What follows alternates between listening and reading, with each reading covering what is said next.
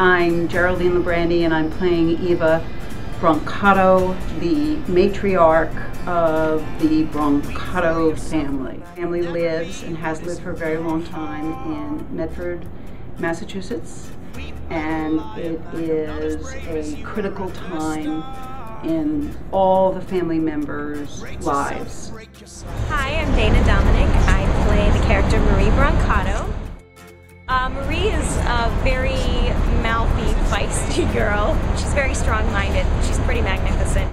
But it was not your fault but mine. I'm Jon Krupp. I'm playing Vincent Parker. The play kind of starts when Vincent comes to see his birth mother for the first time, to meet his real family. How does that go? Swimmingly.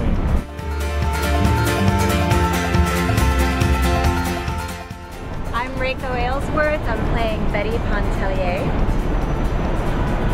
And I think that's it. there are a lot of things revealed about my character and her relationships. Betty has to make some big decisions. Settle any of your score.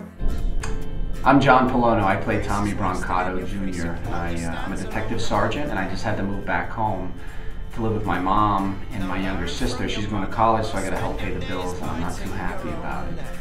And uh, I'm dealing with a lot of stuff.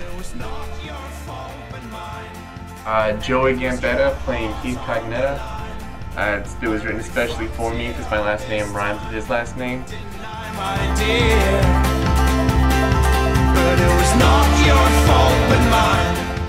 I'm Jonathan Bock. I play Alex uh, I don't have a, I don't have a last name?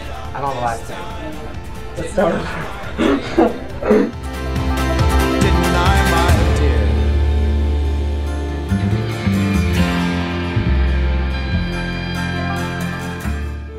Casey Predovic and I'm playing James Landry.